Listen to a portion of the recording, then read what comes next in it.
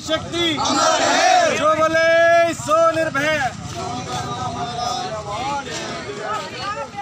ਭੈ ਬੋਲ ਵਾਲਮੀਕ ਮਹਾਰਾਜ ਕੀ ਜੈ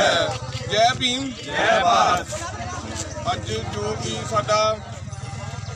ਚੱਕਾ ਜਾਮ ਜਿਹੜਾ ਪ੍ਰਦਰਸ਼ਨ ਕੀਤਾ ਗਿਆ ਹੈ ਇਹ ਮ- ਇਹ ਕਲਰ ਚੈਨਲ ਤੇ ਜਿਹੜਾ ਲਵਕੋ ਚੈਨਲ ਦਿਖਾਇਆ ਜਾ ਰਿਹਾ ਹੈ ਮਹਾਰਾਜ ਭਗਵਾਨ ਵਾਲਮੀਕ ਮਹਾਰਾਜ ਦਾ ਜਿਹੜੀ ਛਵੀ ਨੂੰ ਗਲਤ ਦਿਖਾਇਆ ਗਿਆ ਹੈ ਤੇ ਸਾਡੇ ਇਤਿਹਾਸ ਨੂੰ ਵੀ ਗਲਤ ਦਿਖਾਇਆ ਗਿਆ, ਇਸ ਕਰਕੇ ਅਸੀਂ ਸਾਡਾ ਵਾਲਮੀਕੀ ਸਮਾਜ ਇਸ ਇਸ ਕੰਮ ਦੀ ਬਹੁਤ ਨਿੰਦਾ ਕਰਦਾ ਹੈ